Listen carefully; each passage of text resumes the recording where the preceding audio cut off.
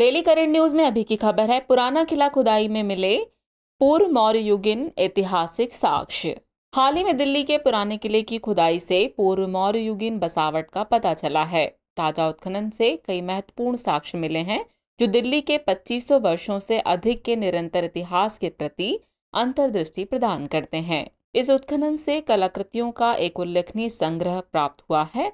इस हालिया खुदाई का उद्देश्य स्थल का पूरा कालक्रम स्थापित करना है। एक छोटे से उत्खनन क्षेत्र से 136 से अधिक सिक्के और 35 मोहरें मिली हैं। नई खुदाई के इस दौर में लगभग 1200 ईसा पूर्व से 600 ईसा पूर्व के मिट्टी के बर्तनों के टुकड़े मिले हैं। यहाँ से प्राप्त प्रमुख वस्तुओं में शामिल है 900 साल पुरानी वैकुंठ विष्णु की एक मूर्ति, गुप्त काल की देवी गजलक्ष्मी, शुंग कुषाण काल का चार कमरे का परिसर मौर्य काल के 2500 साल पुराने टेराकोटा रिंगवेल के संरचनात्मक अवशेष और गणेश की एक पत्थर की मूर्ति मोहरे मन के सिक्के मनुष्यों एवं जानवरों की टेराकोटा मूर्तियाँ, हड्डी की सुई आदि। गौरतलब है कि पुराना किला एक ऐतिहासिक महत्व रखता है और यहाँ पूर्व मौर्य काल से लेकर मुगल काल तक दिल्ली के निरंतर इतिहास को देखा जा सकता है।